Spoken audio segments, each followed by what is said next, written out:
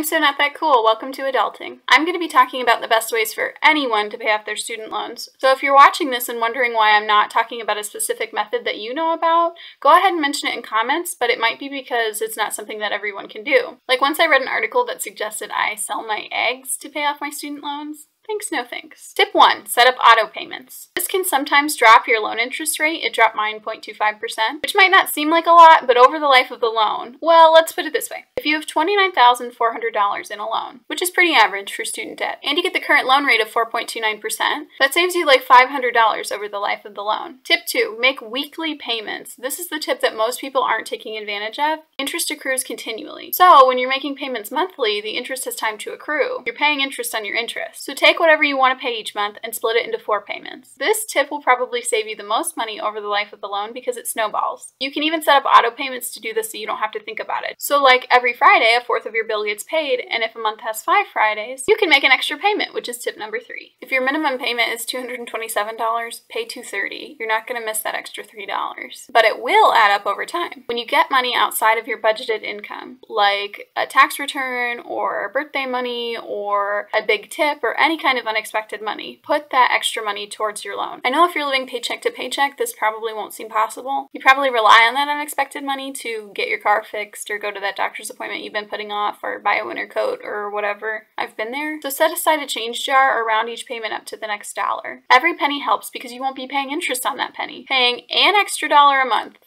$1 will save you an extra $30 in interest. You can't even buy an avocado with a dollar maybe that's because I live in Ohio. Tip number four if your minimum payment goes down, ignore that. Keep paying the original minimum. My original minimum payment for one of my loans was $120.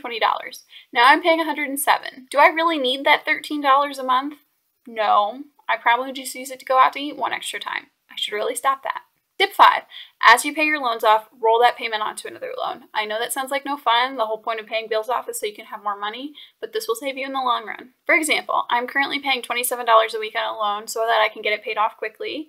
And once that is paid off, that $27 is already taken out of my budget. So I might as well just move it on to a different loan and get that one paid off even quicker.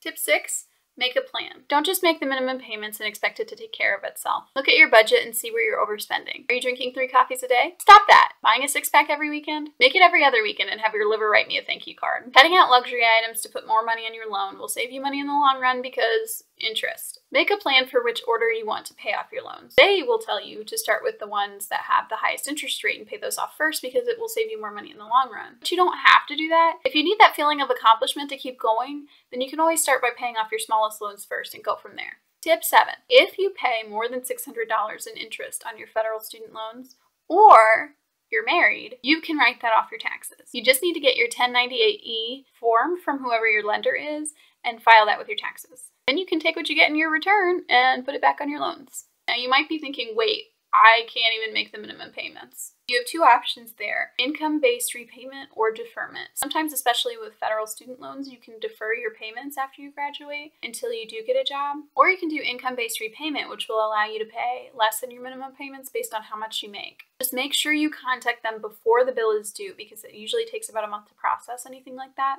and make payments when you can. Don't let it pile up, even if it's stressful. They want to help you pay the loan back. If you have any suggestions, leave them in the comments below. Maybe I'll do another video about this. And if you found any information in this video useful, please like, subscribe, and share the video with someone because Mama needs that ad revenue to pay her own student loans. Okay, bye!